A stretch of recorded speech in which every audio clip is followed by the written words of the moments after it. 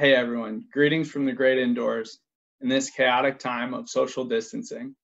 I can't imagine the burden on our healthcare and other frontline professionals right now, or the economic impacts on local businesses and those near retirement, the utter confusion and disbelief for high school and college seniors who are hoping to make a few more memories with friends before life turned upside down.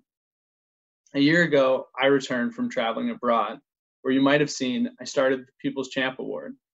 At the time, my goal with that idea was to celebrate people I came across, doing random acts of kindness and recognizing them in that moment in an effort to encourage further random acts of kindness. A ripple effect of positivity, if you will. The People's Champ Award ended up being the most impactful part of my time abroad because while I set out to recognize others, I had no idea how it was going to impact me. I felt like I was continually gamifying gratitude in the sense that I was off my phone, I was present with my environment, and I was looking around to see who's going to be the next People's Champ. As I look at the world today, I hope we can all find bright spots amid this turbulence. I know I'm inspired every time I read a story of someone going above and beyond for others. So, who are those everyday heroes that you've encountered? Who's made an impact through their work to support you or support others around you?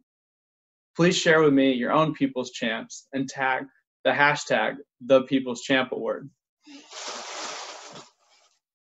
Now, I might not be able to leave the house to go out and meet all these incredible people, but I've bought over 100 more medals, and I'll plan to mail one a day to share those everyday heroes that you tell me about please DM me or tag the hashtag the People's Champ Award, and I'll follow up to learn more and share their stories with everyone else.